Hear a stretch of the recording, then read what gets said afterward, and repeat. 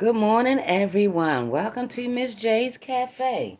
So this morning I'm going to prepare my own oatmeal, and this recipe consists of chia seeds, um, quinoa. Here's my quinoa. I soaked my chia seeds overnight, guys, and it swelled up. This is the consistency that it comes to.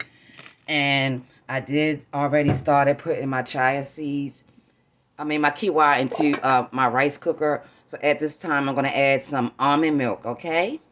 Okay, so um, I'm going to add a cup of almond milk to the quinoa so that can cook. And I did measure, I did four tablespoons of the uh, guys, all right?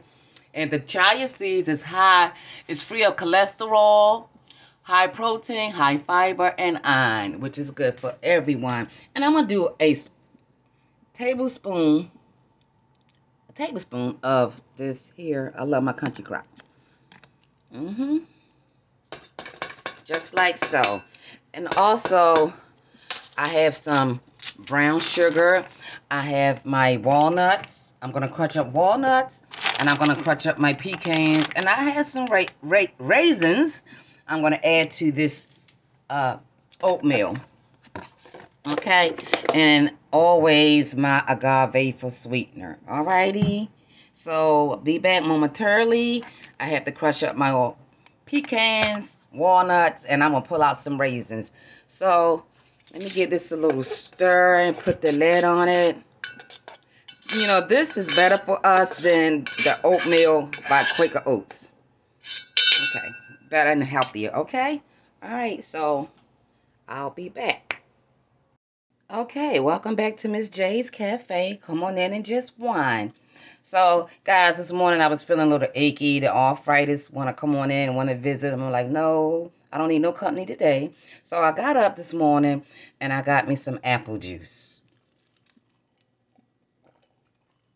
100% apple juice to drink to try to get that inflammation down in your body. And I also cut me some um, fresh ginger and I cut it into four pieces and I ate that and I followed up behind with the apple juice and later I will be eating a piece of garlic to get all the infl inflammation out of my body. You is not welcome here. No goodbye. Return to sender arthritis. I'm not fronting. I'm being 100 guys, okay? So I do have the quinoa going in uh, my rice cooker, just like so.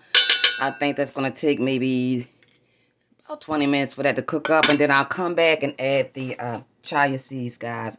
And the, this tastes good. Just, oh my gosh. Yeah, this just tastes good. Just like this. Just like, mmm, just, mmm. Delicious. Wow. Good in fiber. Low correct cholesterol.